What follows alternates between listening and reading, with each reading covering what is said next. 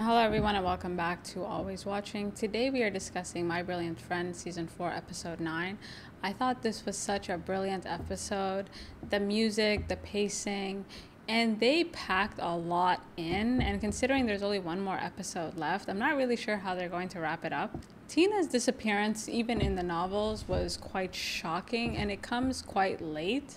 In the last episode, the tension between the brothers and Lila was at an all time high, and it appears as though the threats that Michele made were not empty. Before we get to Tina's disappearance, we have to talk about Nino's much unwanted return. Elena is now making an effort to help Imma, and the first step is to establish a relationship with her father. And it made me really sad to think that the only time Imma sees Nino is at a cafe or restaurant when he has time. And it seems like now that they're no longer together, Nino really has no interest in making time for them. I also hate that Nino is thriving. Apparently, he's a member of parliament. He was driving a BMW he looks better than we have ever seen him. Like this man looks rich. Before arriving, both Imma and Elena are very nervous about Nino's visit. Imma is nervous because she's not that close to him, especially in comparison to Tina and Enzo and Pietro and her sisters. Elena is nervous because she doesn't really care about him anymore, but she does want to appear strong. I did think it was disturbing that despite her disdain for Nino. She still has this weird obsession with his connection to Lila. That saying, old habits die hard, I think is very true from what we gather, Nino was actively pursuing Lila, and Lila was pretty transparent about it. And even if they were connected some way, I'm not sure why she cares. It's like this has nothing to do with you. Also, there's absolutely nothing to suggest that Lila would reciprocate these feelings. And during this visit, she wonders what Lila might be thinking, if she regrets not being with him, if she wonders what it would be like if Tina was his daughter. The whole time she's brainstorming, I'm just like, no one is thinking about Nino besides you. And I don't think she was ever obsessed with Nino, I think it was always about Lila in some way. And if you notice in this episode, Tina very much sees Imma as her twin. They look alike, she's always around her, and maybe in some weird way, Elena dating Nino was a way for her to be like Lila, be one with Lila. Like somehow she feels like being with Nino is the closest she has ever been to really understanding Lila. And the whole thing is just so weird. And I was just like, is there a reason you're still thinking about this man? When Nino arrives, Elena immediately greet, greets him and she gives him a briefing. She's very worried that Nino will show everyone equal attention. And the purpose of this visit is to focus on Imma. And she's particularly worried about Tina because Tina is a scene stealer. Like right from the start of the episode, if you notice, Tina knocks on her door and she's like, What are you doing here? Because she knows if Nino is around Tina, he's going to be very impressed by her and she can't really afford any more distractions. Elena was really trying to prepare Nino. She even sent him a letter, but Nino, being a complete waste man, did not read that letter and he looks like he just dropped by. He kind of promises that he might come back, but after the disappearance, we literally never see him again.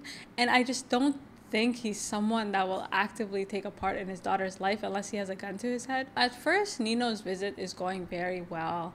He pays Imma a lot of attention. He buys her more gifts and you can tell that Imma is very happy, and she's really happy that she is receiving special attention instead of Tina. Like he's not really paying attention to her as much. However, he does notice her and he does compliment her. And you can see that Elena is just so uncomfortable because a part of her wants to remove Tina, but at the same time, she's part of their family.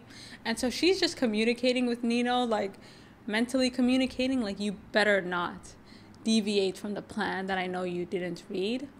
And for a while, Nino read the room, but he completely messed it up. And I thought the scene of him giving Tina the pen was really unfortunate because you could see that all the work that he had done with Imma completely went away. And we know that Tina is very intelligent and very charming. And the fact that she could write her own name, like you could see the discomfort of everyone in this room. Dede and Elsa looked like they didn't know what to say. But I will give Nino credit. He knows how to pivot. He noticed it. he seemed somewhat concerned, but not really concerned enough to follow up ever again. And he's like, you know what? Forget about all this. Let's go look at my BMW. They all go outside to hang out and mingle. And the whole time, all Elena can think about is Lila and Nino reconnecting. And I thought that scene of her spotting Lila and Nino talking and she's trying to hide was hilarious because it's like, first of all, we can see you. Second, no one is looking out for you. And Elsa was just laughing, and we'll get back to Elsa later. Like, her daughters have really changed a lot. Like, they've really adapted to this neighborhood. And the way she looked at Elsa, like, I am gonna get. She looked at her like she wanted to just slap her. And from the outside looking in, it does look like Nino is charming Lila he's talking about all this ama- all these amazing things that he's done and how wonderful his life is and how Lila should try it sometime. And I don't think Lila is charmed by him. I think she knows he's a snake oil salesman, but she just indulges him because this man just doesn't know when to shut up. And you can see it in Enzo's face like is this guy done? And I also thought it was really telling that it was Lila that was holding Imma and not Nino. Like she they didn't really have that bond that they did during the visit, which was really unfortunate. It's at this moment that Elena notices that Tina is nowhere to be found. And at first, you think, oh, she's probably somewhere, like she's just hanging out somewhere. And then it dawns on Lila that that might not be the case because she remembers what happened to her son and having a similar feeling that something may have happened to him. And I think Lila was very concerned about Gennaro. She felt like if the brothers were to come at her, come at her personally, it would be through her son. I don't think she ever imagined it would be through her daughter. And you can see it in her face. Like she knows that her daughter is gone. Now, what follows is a very intense investigation. There are so many different differing accounts of what could have taken place. Some people saw Tina with a man. Others think she was hit by a large truck. But where is the body? Tina has disappeared without a trace. Now, the news report does mention Elena's article, and I'm not going to lie, I do think it was the brothers that did it. I don't see who else could have done it, but given this neighborhood, it could have been anyone. It could have just been a random creepy stranger that picked her up off the road. Could have been an angry client of Lila's. Could have been her brother. Could have honestly even been her son, considering that he is just drug addicted and you don't really know what state of mind that he's in. When Marcello and Michele come over to help, I'm not going to lie, my immediate reaction was they definitely had something to do with it. Michele seemed way too calm, especially considering that just an episode ago he slapped her and threw her to the ground. Tina's disappearance destroys Lila and Enzo. Lila at this point barricades herself in this apartment in the dark, and this also triggers the end of their big happy family. We never see Lila visit Elena anymore. We never see her reconnect with her daughters. Like that bond that they had created is now severed. The disappearance puts Elena in a very tough spot because, on one hand, she wants to help her friend. On the other hand, she needs to protect her daughters as well. I'm not really sure how much longer she can live here. During this time, Elena loans Imma out to Lila, hoping that it would offer her some comfort. Unfortunately, the way that Lila is treating her daughters is not great.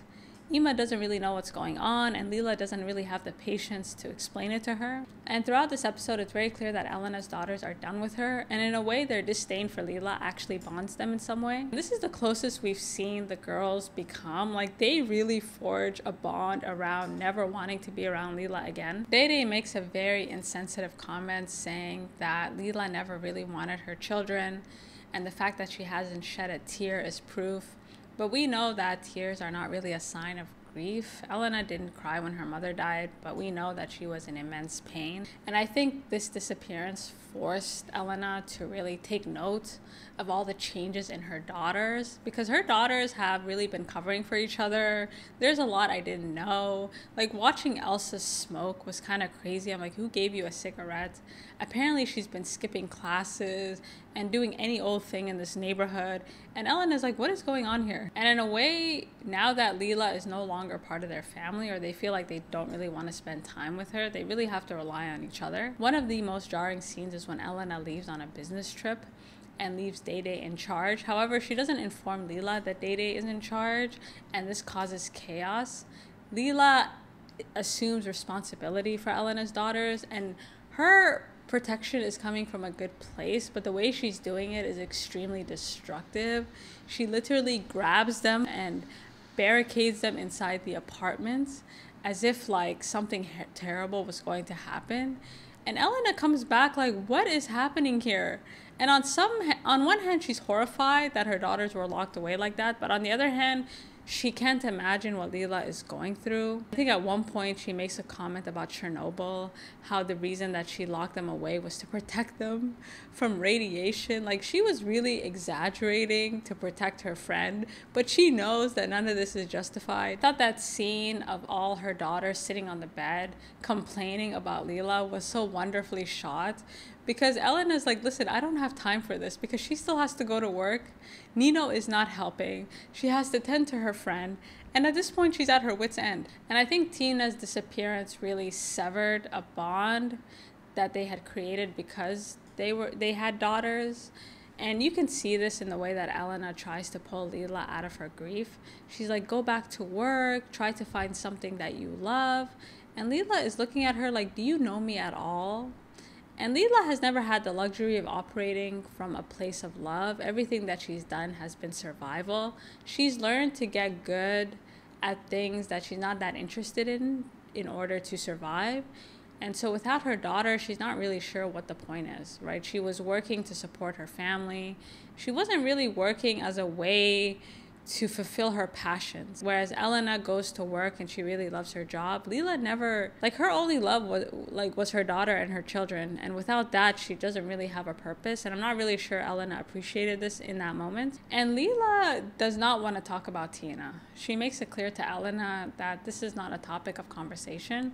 And as a result, Elena imagines the conversation they would have if Lila wanted to. And a part of this conversation is projection I felt, and I thought it was really well shot. The way that Elena was talking to herself while she imagines Lila whispering in her ear. And the line that struck out at me is Tina was supposed to be better than all of you. And in a lot of ways, Lila's whole family just feels like a tale of lost potential, what could have been. Her brother is dead, her daughter has disappeared, and she's really trying to hold on to what she can.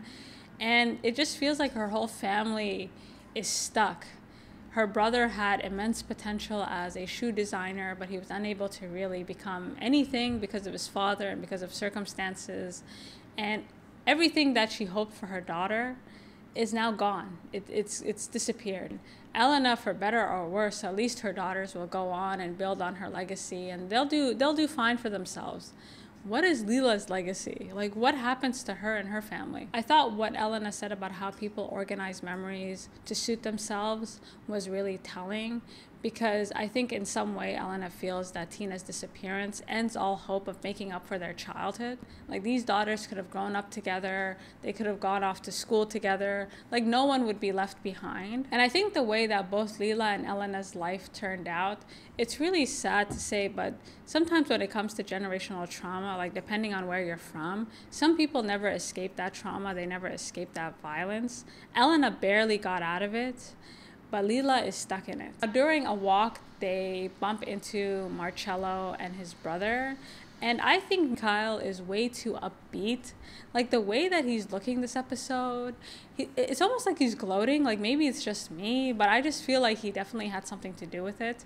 He then invites Elena and her daughters to come to the library with them, and he starts to lecture them about how good Elena is because she was able to read and escape the neighborhood, and how bad everyone else is because they were not able to do the same. Some people never make it out of this hell, and I think Tina's disappearance ends Lila's hopes of ever coming out of this circumstance. Now, during this conversation, you can tell the tone has shifted.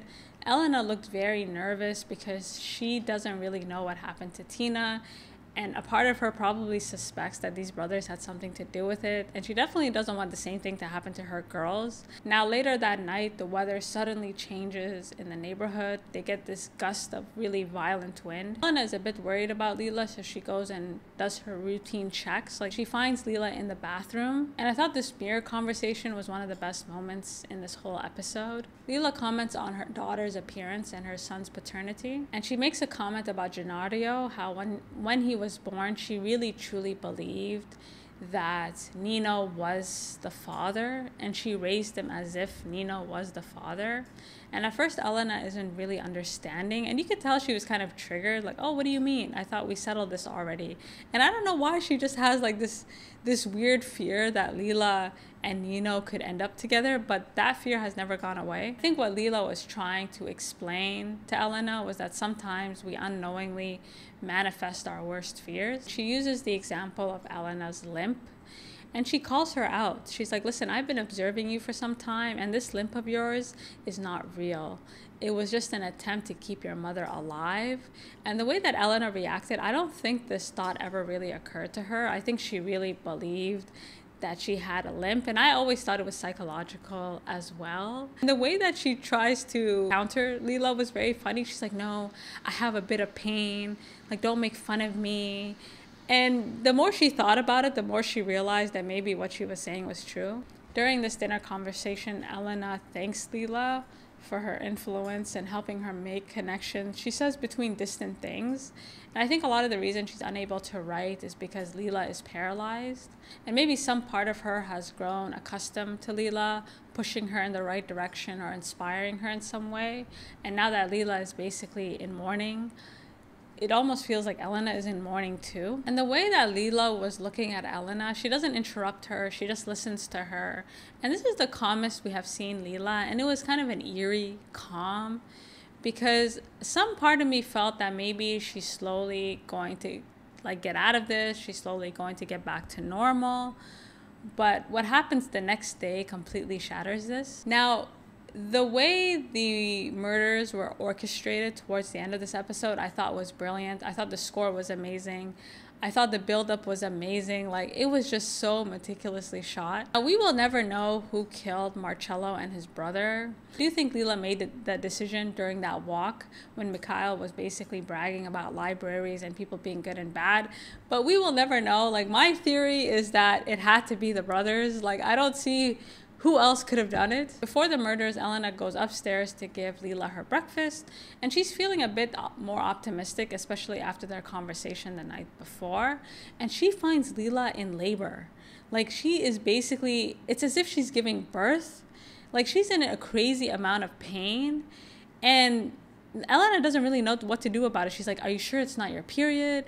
Are you sure? Like, like what's wrong? Lila looks much worse than we have ever seen her. Like she looks destroyed. While she's in this phantom labor, the brothers end up being killed. Elena, in, a, in an attempt to help Lila, goes out to get her some painkillers, and then she hears gunshots. She immediately runs over to find Marcello and Michele dead, and she doesn't even know what to do about it. She's in shock, the neighborhood is in shock, and then she proceeds to imagine what she thinks happened and she imagines Pasquale as the shooter with his girlfriend as they are currently on the run. I think her fantasy of what happened to the brothers was a lot of projection. Like the idea of these men getting exactly what they deserve from people they never saw coming. When she comes home, Lila informs her that Tina had come out of her belly again to take her revenge and she is responsible for the killings.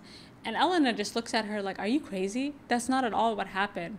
But I think in some ways, this was Lila's way of acknowledging that her daughter is gone.